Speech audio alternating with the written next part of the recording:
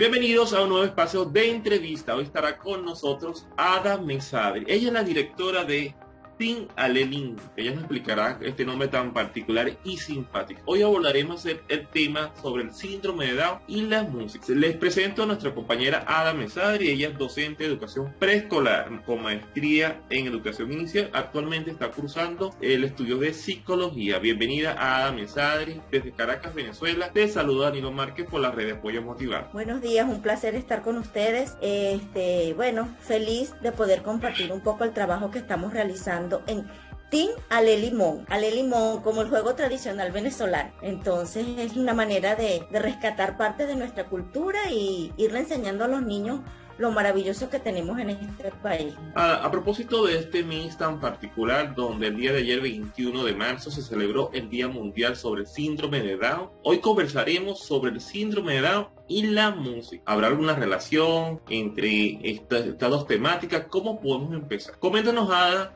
aquellas personas que no tenemos la oportunidad de conocer más de cerca qué es el síndrome de Down. Bueno, este, a propósito de, que ayer fue el día del síndrome de Down, este, bueno, es oportuno recordarles que el síndrome de Down es una condición donde una persona nace con 47 cromosomas en vez de los 46 que usualmente tenemos este, las personas que no tenemos esa condición. Este, este tipo de condición pues limita un poco lo que es el aprendizaje, la movilidad, pero que con un buen trabajo, una buena estimulación desde que están muy pequeñitos, podemos lograrlos que ellos estén dentro de la sociedad incluidos como una persona neurotípica, entendiendo que neurotípicos pues son las personas que están dentro de, de lo que decimos la normalidad, pero que ellos pueden hacer todo lo que la familia y lo que ellos se propongan. Excelente, Adra. Y coméntanos acerca de estos beneficios. Vamos a iniciar por el principio, la música. ¿Cómo Ada Mesadi puede definir la música?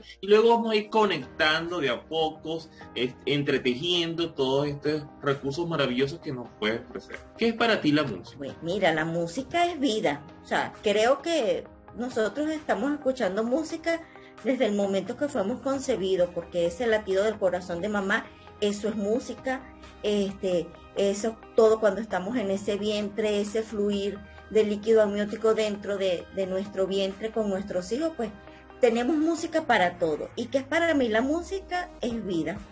Creo que no podría vivir sin estar conectada a la música. Ahora, tienes la hermosísima oportunidad de estar con los más pequeños como docente de educación inicial, además de maestría en educación preescolar. Coméntenos, Ada, e, e, esta maravillosa experiencia de conectar con los más chiquitos, supuestamente normales, porque todos somos diferentes y este debería ser la norma.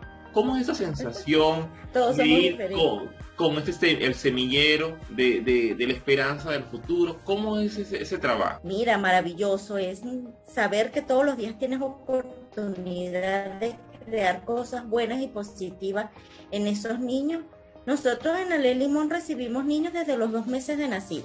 Desde los dos meses estamos comenzando con, con este proceso de estimulación musical. Ellos asisten a clase con su mamá. Y el trabajo con los niños, que nosotros les decimos aquí los más grandes, porque es que, estamos llenando ese, ese, estamos colocando ese granito de arena para que ellos puedan ser buenos ciudadanos, buenas personas, disfrutando la niñez, este, ayudando a esos papás para, para que disfruten ese proceso de, ir, de ir creciendo. Eh, a propósito de una entrevista previa que estuvimos con una de nuestras compañeras desde México, mi compañera Isbel, le hacía una pregunta similar y veíamos que estos talleres tan geniales como los que ustedes preparan, no solamente le llegan a los niños, sino también que los padres, los cuidadores, los representantes también los disfrutan, porque es una experiencia mágica y maravillosa. Claro. Conéctanos y, para toda nuestra audiencia, cómo son las actividades en Ale Limón desde la música y conectarlos con el síndrome de Down. Bueno, mira, nosotros comenzamos nuestro nuestra clase con una actividad bien dinámica. Lo primero que hacemos es movernos, caminar a diferentes ritmos, bailar, tratar de incorporar la música venezolana dentro de nuestras clases e ir motivando a esos papás que lo que estamos aprendiendo en el salón de clase lo podemos hacer en la casa para seguir fortaleciendo ese proceso de aprendizaje. En relación con los niños que tienen la condición de síndrome de Down, pues igual, ellos asisten a una clase regular, si por recomendación médica o por sus recomendaciones de la mamá, si ella quiere alguna actividad mm, en grupo, por ahora situación pandemia, grupos reducidos, pero nos importa mucho comenzar la socialización desde muy pequeño. Estamos conversando con Ada Mesader, quien es la directora de Alelí Limón. Ada, coméntanos acerca de estas características tan maravillosas y geniales de estos niños que vienen a transformar a la familia, vienen a transformar el ambiente, porque una de las cosas mágicas de ellos es que al llegar a un sitio lo, lo transforman todo, lo cambian, se vuelven en algún momento el centro de atención y son genial en cuanto a su creatividad. Coméntanos, ¿qué será lo particular que ellos pueden tener? Sabes que este, mucho se ha dicho que los niños con síndrome de Down son ositos, son angelitos. No, ellos son niños, como cualquier otro niño, solo que ellos no tienen ese filtro de... Ellos son muy espontáneos. Pues ellos te van a decir las cosas como lo sienten, como, como lo creen. Este, y bueno, sí, sí ha creado esa empatía de, de las personas hacia los niños con síndrome de Down para tratar, yo pienso que como de cuidarlos, de, de protegerlos, de que nada malo les suceda, pero entendiendo que ellos son niños que van a adquirir habilidades y destrezas como otro niño este, que no tenga la condición. Además son amorosos porque ellos no tienen ese filtro, ellos no, no tienen esa maldad. Genial. Las actividades en cuanto a la música que se desarrollan con estos niños, ¿cómo son? ¿Son orales? ¿Hay cuestiones de ritmo, movimiento? Coméntanos acerca de esta experiencia. Utilizamos, lo primero que utilizamos es el cuerpo como nuestro mayor instrumento. Entonces, tratar de ir internalizando la música con nuestros cinco sentidos. Entonces, se baila, se tocan instrumentos de percusión, se hacen trabajos de motricidad fina y mientras están trabajando, están escuchando alguna música clásica, alguna música instrumental, este, bailamos. Los niños con síndrome de Down este, se les puede desarrollar esa esa capacidad de, moverse al ritmo de, diferentes mm, de moverse a diferentes ritmos y como son espontáneos pues ellos disfrutan disfrutan mucho su clase o sea la idea es que la música sea para ellos un medio de aprendizaje no solamente de diversión sino también de aprendizaje de aprender a través de la música a socializar.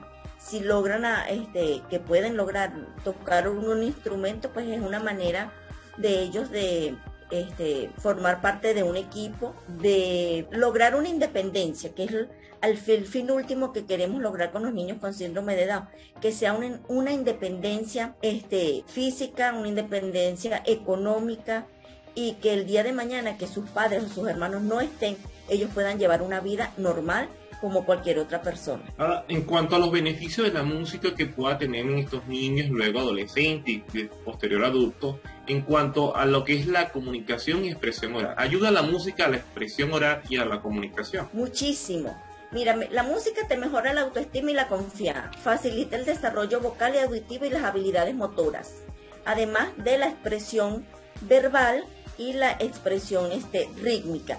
Los niños mm, este, por lo general tienen mucho ritmo, entonces eso hay que irlo desarrollando, porque llega un momento en que como que hay esa pausa de la música en el desarrollo y entonces comienzan a sentir pena si tienen que cantar en, en público o si tienen que bailar este, frente a otras personas, pues sienten un poco de temor. Entonces, la música nos va a permitir este, desinhibirnos, expresar con nuestro cuerpo lo que sentimos, lo que queremos. Este, por supuesto, hay música triste que te puede en algún momento hacer sentir deprimido, es una manera de drenar.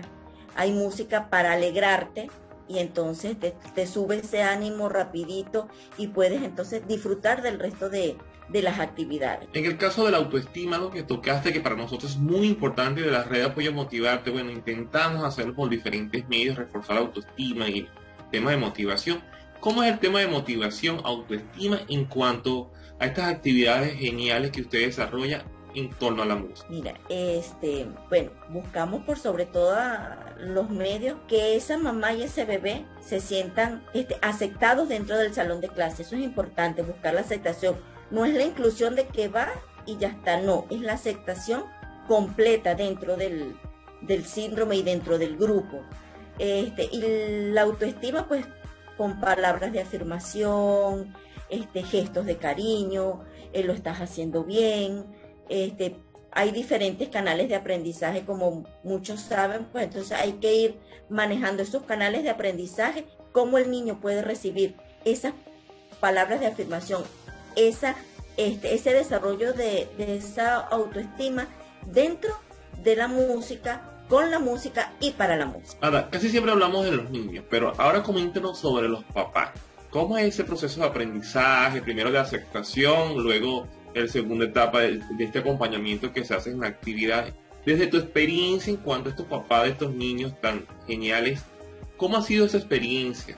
¿Y qué, qué anécdota nos puedes comentar? Bueno, este, dentro del taller hemos, de verdad que los, las personas que han llegado, pues ya han llegado con, con ese proceso de aceptación ya superado. Eh, vamos a, explicar que el, cuando te dicen a ti que vas a tener un hijo con síndrome de Down, entramos en un duelo.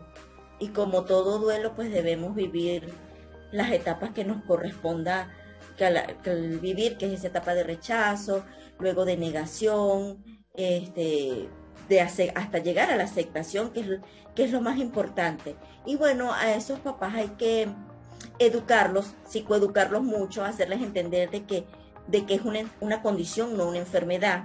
Muchos vienen con enfermedades, con una comorbilidad este, propia de, de los niños con síndrome de Down, puede ser cardiopatía. Ellos por lo general tienen problemas de audición y por eso les cuesta hablar.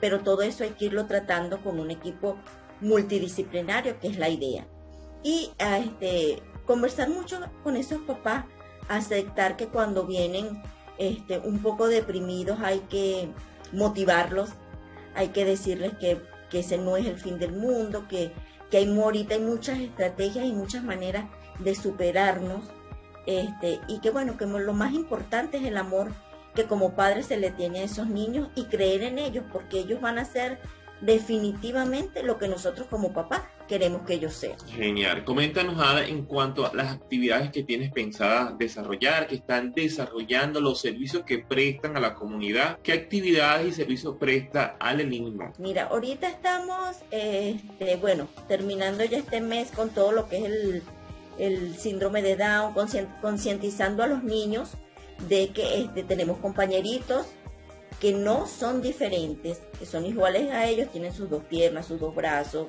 todo, pero que su proceso de aprendizaje es diferente al de un poquito más lento. Entonces, concientizando a la población de que debemos aceptarlos y este, lograr que ellos logren esa independencia. En abril nos preparamos para celebrar los cinco años de Ale Limón, ya este, tenemos cinco años caminando en este hermoso camino de la música y de la estimulación musical, la estimulación temprana. Este, por ahora tenemos eh, en Ale Limón este, tenemos un equipo de psicólogos que, que están atendiendo no solo a los papás, sino a los niños también.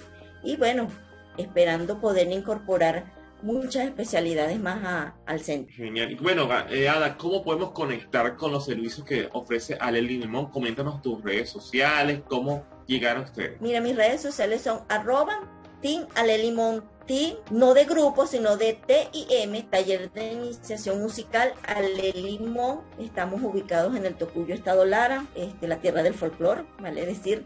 Y este, por estas redes pues nos pueden comunicar vamos a comenzar en abril Dios mediante con, el trabajo online, este, ya adaptándonos a esta nueva metodología de, enseñanza y de poder llegar a muchas más personas con, con la experiencia que tenemos dentro del taller. Excelente. Bueno, estamos conversando con Ada Mesadres, quien es la directora de Aleli Limón, ubicado en Lara, en Barquisimeto Lara, Venezuela. Ada, coméntanos ya para casi cerrar, ¿qué es lo que motiva a Ada Mesadres? ¿Y a ti qué te motiva?